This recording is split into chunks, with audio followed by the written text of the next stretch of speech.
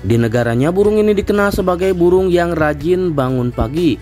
Burung ini akan berbunyi menyambut datangnya fajar. Mereka akan saling bersautan satu sama lainnya. Selain itu burung ini juga dikenal sebagai burung penolak telur burung kedasi.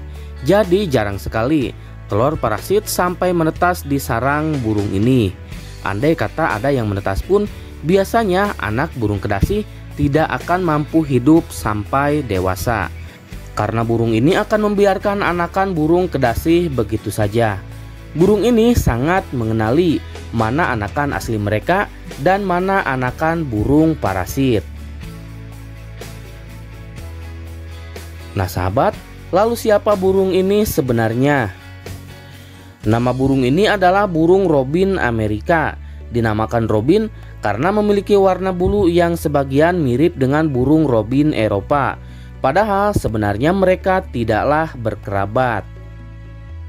Burung robin Eropa berkerabat dengan jenis-jenis burung sikatan yang berasal dari keluarga Muscicapidae. Sedangkan buat burung robin Amerika mereka berkerabat atau satu keluarga dengan burung-burung anis, yaitu dari keluarga Turdidae. Burung robin Amerika tersebar luas di seluruh Amerika Utara. Dan menurut database Partner in Flight 2019, burung robin Amerika adalah burung paling melimpah di Amerika Utara dengan jumlah 370 juta individu.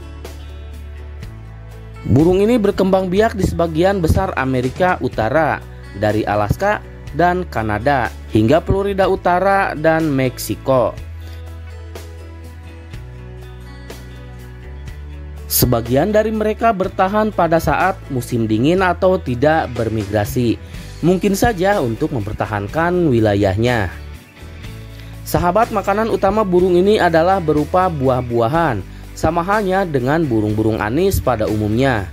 Selain buah-buahan, mereka juga memakan cacing ataupun serangga.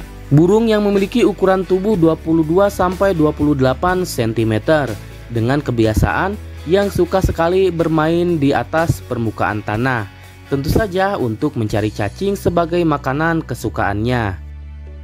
Biasanya mereka akan membuat sarang di pohon ataupun rumah warga yang ketinggiannya 1-4 meter.